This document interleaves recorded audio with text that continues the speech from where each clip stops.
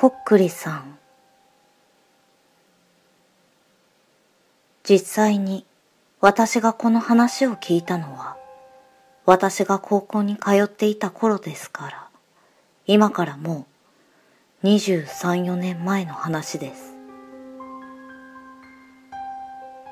同い年の女の子が中学生の頃に体験した話ですから、実際にことが起こったのは、今からもう25年以上も前になりますね。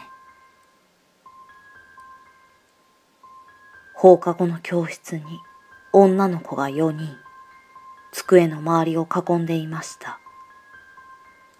こっくりさんをやるためです。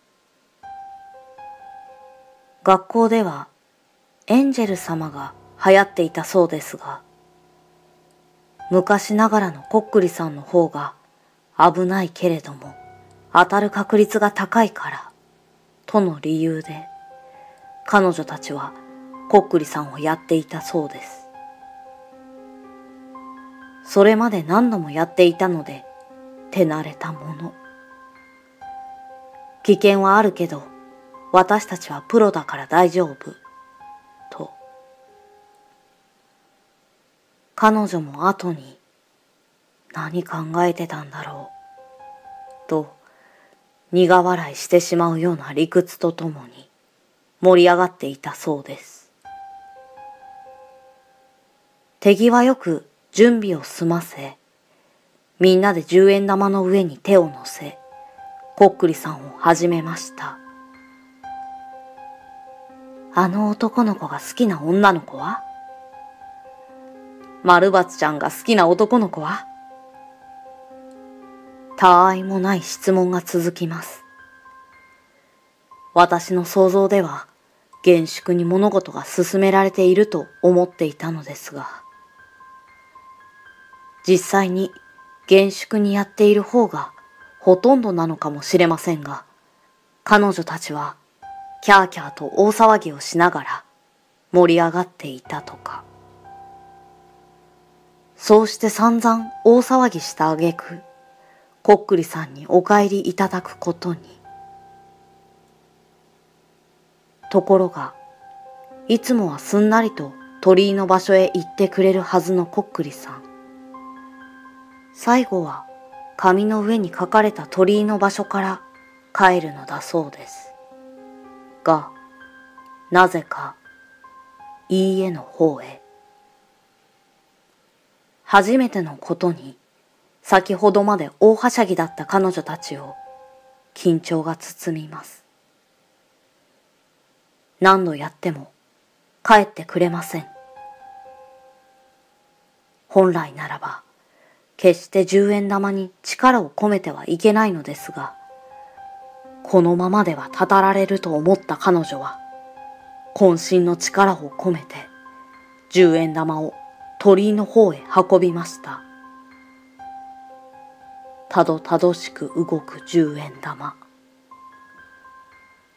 結果、紙は破れ、机に大きな傷が残ってしまいましたが、なんとか鳥の方へ行ってくれました。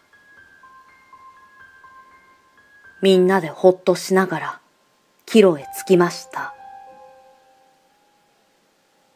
一末の不安を残しながらも、もちろん彼女は自力で返したとは言えなかったそうです。そしてその夜、どうしてもそのことを考えてしまいます。こっくりさんはやばい。それは彼女も十分承知していました。もしも、また誰かがやろうと言い出したら、どうしよう。そんなことを考えていた時です。不意に電話のベルが鳴りました。電話に出てみると、一緒にこっくりさんをやったお友達の中でも、一番仲のいい友達でした。泣いています。彼女は何かあったんだと直感的に察しました。怖いです。自分も当事者の一人。しかも、無理やりこっくりさんを追い返したのは自分なのですから。でも、怖いながらも親友です。なんとかなだめて、恐る恐る話を聞いてみました。最初に驚いたのは、その子も自分がこっくりさんを追い返したと思っていたこと。そう、電話をかけてきたその子も、渾身の力を込めて十円玉を動かしていたのだそうです。だから私、こっくりさんに呪われちゃったかもしれない。その子はかなり思い悩んでいた様子です。大丈夫だよ。実は私も。彼女は自分も十円玉を動かしていたことを正直に告白しました。じゃあ、あなたのところにも、こっくりさん来た？そのセリフを電話の向こうから聞いた瞬間、彼女の胸はぎゅっと締め付けられ、頭は真っ白になりました。こっくりさん、来た？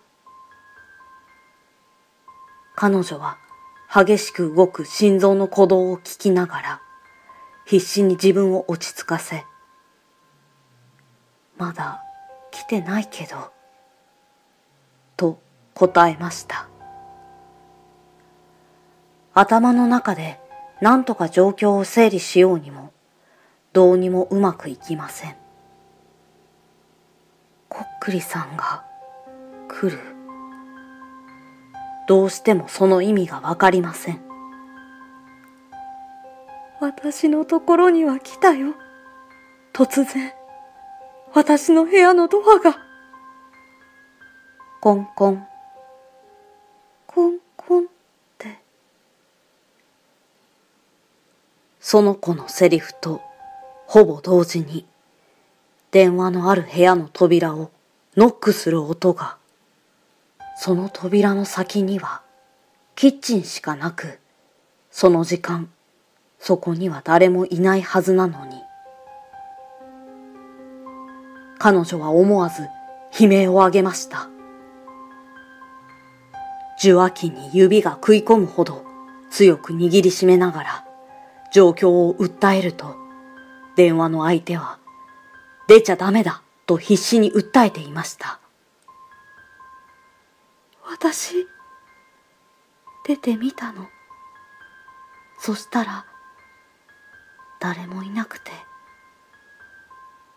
自分の場合、出てみなくても誰もいないのは分かっています。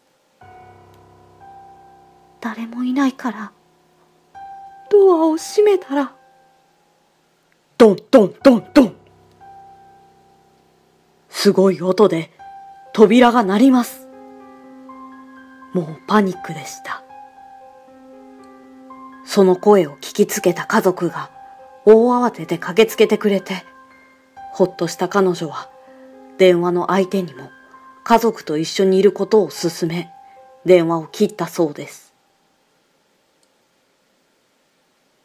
その後、他の二人からも交互に電話がかかってきて、全員が同じように自分の力で十円玉を動かし、全員のところで同じ現象が起きたことを知ったのだそうです。結果的に四家族が集まり大騒ぎになってしまったとか。結局、その夜は友人の家にみんなで泊まることになり、朝まで眠れぬ夜を過ごしたそうです。その後は何事もなく平和に暮らしていたそうですが、彼女はそれ以来、ノックの音に過敏になってしまい、彼女の部屋をノックすることは彼女の家では禁止となったそうです。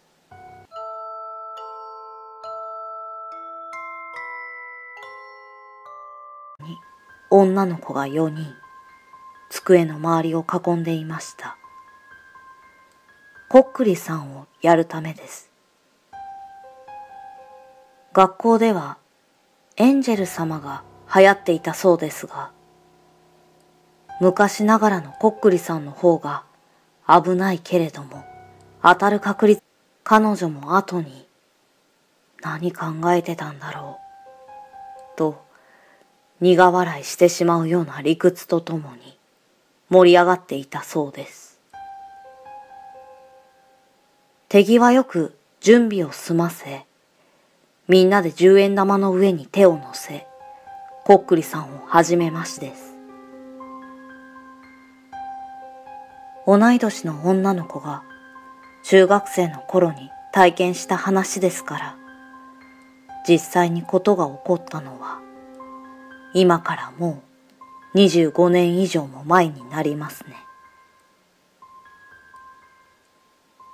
放課後の教室質が高いからとの理由で彼女たちはこっくりさんをやっていたそうです。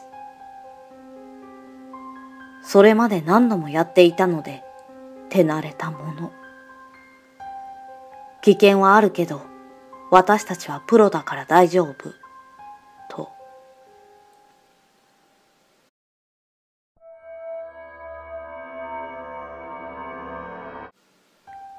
こっくりさん。実際に私がこの話を聞いたのは私が高校に通っていた頃ですから。今からもう23、4年前の話